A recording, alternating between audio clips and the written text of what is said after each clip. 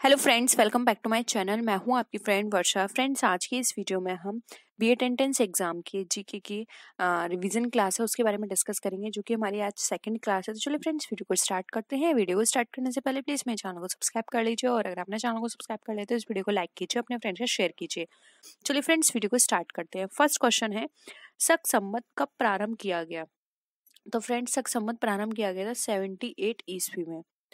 Next question है, कुषाण शासक कनिष्क का राज्यभिषेक कब हुआ? तो फ्रेंड्स इसका राज्यभिषेक हुआ था 78 ईसी में।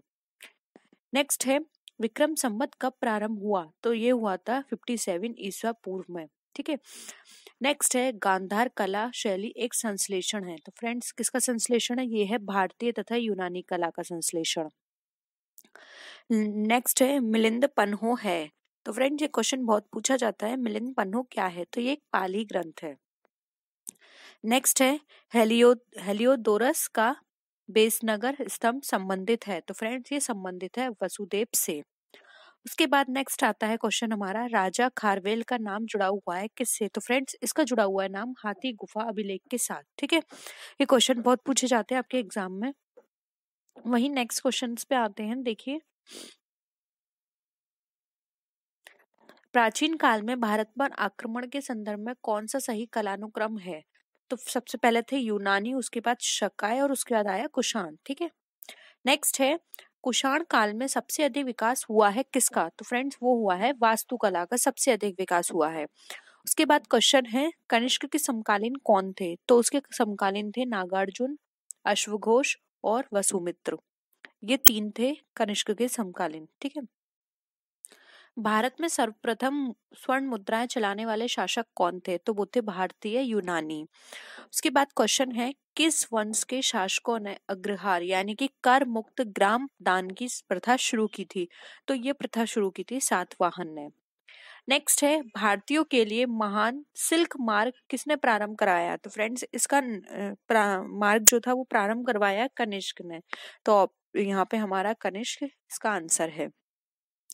नेक्स्ट है, कला की गांधार शैली किस समय में फली फूली तो वो कुषाणों के समय फली फूली फली फूली का मतलब होता है डेवलप हुई, विकास हुआ उसका, ठीक है? नेक्स्ट आते हैं।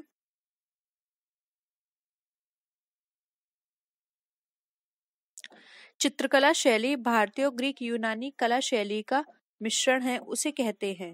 देखिए, यहाँ पर सॉरी जो कला है, जो कला शैली भारतीय और ग्रीक यूनानी कला शैली का मिश्रण है, उसे क्या कहते हैं? तो उसे कहते हैं गांधार शैली। तो ये देख लीजिए, गांधार से रिलेटेड अभी दो तीन क्वेश्चन हमने पढ़े थे तो यहाँ पे क्लियर हो गया कि जिसमें, जिस शैली में भारतीय और ग्रीक यूनानी कला शैली का मिश्रण होता है, ठीक है? उसे हम गांधार शैली बोलते हैं। नेक्स्ट है, भारत सरकार द्वारा प्रयोग किए जाने वाले सख सम्मत का प्रयोग किया था किसने? तो वो किया था कनिष्क ने। उसके बाद क्वेश्चन है, प्राचीन संस्कृत ग्रंथों में यवन प्रिय शब्द द्योतक है। द्योतक मतलब एक तरह से हम बोल सकते हैं कि उसके, उसका चिन्ह है। तो वो है काली मिर्च का, ठीक है?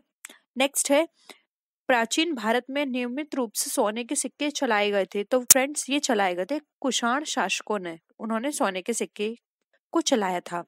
नेक्स्ट क्वेश्चन पे आते हैं। फ्रेंड्स इसे आप नोट कर लीजिए, विभिन्न दर्शन एवं उनके प्रतिपादक।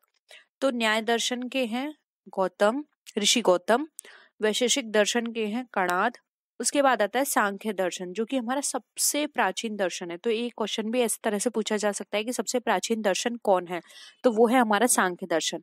ये है कपिल मुनि का, उसके बाद है योग दर्शन तो ये है पतंजलि का, उसके बाद लोकमत, यानी कि चावाक है हमारा चावाक का। ये बहुत पूछे जाते हैं दर्शन शास्त्र और उस साथ ही उनके प्रतिपादक भी पूछे जाते हैं। तो आपको इनके नाम पता होने चाहिए तो आप इनका अच्छे से रिवीजन कर लीजिएगा। भारत का नेपोलियन किसे कहा जाता है? तो फ्रेंड्स, भारत का नेपोलियन कहा जाता है समुद्रगुप्त को। नेक्स्ट है, प्राचीन भारत के किस वंश का शासनकाल भारत का स्वर्ण युग कहा जाता है? तो ये कहा जाता है गुप्त वंश का स्वर्ण का शासनकाल। नेक्स्ट है, गुप्त युग में भूमि राजस्व की दर क्या थी? तो ये थी उपज का छठा भाग। उसके बाद आते हैं, इलाहाबाद का अशोक स्तंभ किस शासक के बारे में सूचना प्रदान करता है? तो फ्रेंड्स, ये सूचना प्रदान करता है समुद्रगुप्त की। नेक्स्ट है, गुप्त काल में उत्तर भारत का एक महत्वपूर्ण पतन था तो वो था ताम्रलिप्ति, जो कि तामलोक पश्चिम बंगाल से रिलेटेड है, ठीक है? नेक्स्ट आते हैं। इलाहाबाद स्तंभ में किसकी उपलब्धियाँ उत्कीर्ण है? उत्कीर्ण का मतलब वहाँ पे ये है कि वहाँ पे चिन्हित हैं या फिर हम ये बोल सकते हैं वहाँ पे लिखी हुई हैं तो वो है समुद्रगुप्त की उपलब्धियाँ, ठीक है? नेक्स्ट है पहला ज्ञात गुप्त शासक था तो वो थे श्रीगुप्त। नेक्स्ट है, गुप्त शासकों द्वारा जारी चांदी के सिक्के क्या कहलाते थे? तो वो कहलाते थे रूपक। नेक्स्ट क्वेश्चन है हमारा, प्राचीन भारत में व्यापारियों का निगम था तो वो था मणिग्राम। नेक्स्ट है, गुप्त काल में अपनी आयुर्विज्ञान रचना के लिए जाना जाता है तो ये जाना जाता है सुश्रुत संहिता, जो कि 200 बीसी का है, यानी कि पूर्व का बताते हैं। नेक्स्ट है, प्रयाग प्रशस्ति किसके सैन्य अभियान के बारे में जानकारी देता है? तो ये देता है समुद्रगुप्त के बारे में। नेक्स्ट आते हैं। अब यहाँ पर है, अभिज्ञान शाकुंतलम के लेखक कौन है? तो ये है कालिदास और इनकी कुछ और रचनाएँ भी हैं। आप यहाँ पे देख लीजिए, जैसे कि रघुवंश कुमार संभव, विकोर वर्षियम, मालविकाग्निमित्रम मेघदूत और ऋतु संहार ये कालिदास की रचना है जो कि बहुत पूछी जाती हैं तो आप इन्हें याद कर लीजिएगा। नेक्स्ट है, किसके शासनकाल में हुणो हुणो ने भारत पर आक्रमण किया? तो स्कंद गुप्त के शासन काल में हुडो ने भारत पर आक्रमण किया था। नेक्स्ट है गुप्त काल का कौन सा शासक भारत का नेपोलियन कहा जाता है? तो ये कहा जाता है समुद्रगुप्त को। नेक्स्ट है, भारत के लिए संविधान की रचना हेतु संविधान सभा का विचार सर्वप्रथम किसने प्रस्तुत किया था? तो ये प्रस्तुत किया था स्वराज पार्टी ने 1934 में। नेक्स्ट है बी आर अंबेडकर का संविधान सभा में निर्वाचन हुआ था पश्चिम बंगाल से। यानी कि पश्चिम बंगाल से उन्होंने निर्वाचन का जो पर्चा होता है वहाँ से भरा था।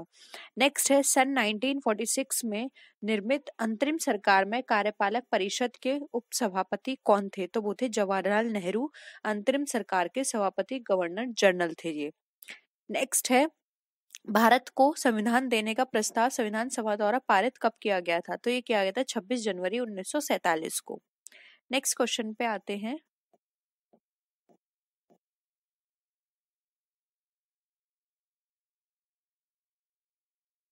भारतीय संविधान की प्रारूप समिति का अध्यक्ष कौन थे? तो ये थे भीमराव अंबेडकर जी।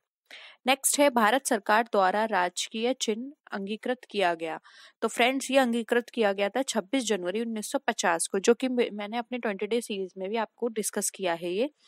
नेक्स्ट है, भारत का संविधान अपनाया गया था। तो फ्रेंड्स भारत का संविधान अपनाया गया था 26 जनवरी 1950 को, जब से हमारा, क्या हम मनाते हैं? रिपब्लिक डे मनाते हैं। नेक्स्ट है संविधान सभा के चुने हुए स्थायी अध्यक्ष कौन थे? तो वो थे स्थायी अध्यक्ष डॉक्टर राजेंद्र प्रसाद। ये भी मैंने आपको क्वेश्चन बहुत बार कराया हुआ ये बहुत बार पूछे जाते हैं स्थायी सदस्य और अस्थायी सदस्य, ठीक है? 11 दिसंबर 1946 को। नेक्स्ट है संविधान सभा के प्रथम बैठक की अध्यक्षता किसने दी थी? तो डॉक्टर सच्चिदानंद सिन्हा ने 9 दिसंबर 1946 को। और फ्रेंड्स, डॉक्टर सच्चिदानंद सिन्हा अस्थायी सदस्य भी कहे जाते हैं, ठीक है? नेक्स्ट आते हैं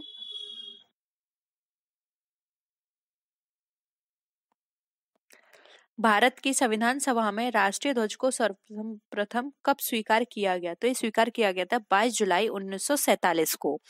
नेक्स्ट है, संविधान सभा का गठन कब हुआ था? तो फ्रेंड संविधान सभा का गठन हुआ था नवंबर 1946 ईस्वी में। नेक्स्ट है, भारत की संविधान सभा का प्रथम अधिवेशन कब शुरू हुआ था? तो ये शुरू हुआ था 9 दिसंबर 1946 को। नेक्स्ट है, संविधान निर्मात्री परिषद की झंडा समिति के अध्यक्ष कौन थे? तो फ्रेंड, ये थे जे बी कृपलानी। नेक्स्ट है, संविधान सभा में सदस्यों का चुनाव हुआ था। तो फ्रेंड्स, प्रांतीय विधानसभाओं द्वारा अप्रत्यक्ष निर्वाचन द्वारा इनका क्या हुआ था? चुनाव किया गया था। प्रांतीय विधानसभाओं द्वारा अप्रत्यक्ष रूप से निर्वाचन करके इनका चुनाव किया गया था। नेक्स्ट क्वेश्चन पे आते हैं। कैबिनेट मिशन योजना के अंतर्गत संविधान निर्मात्री परिषद में प्रत्येक प्रांत को आवंटित सदस्य संख्या निर्धारित करने के लिए प्रति प्रतिनिधित्व जनसंख्या अनुपात था।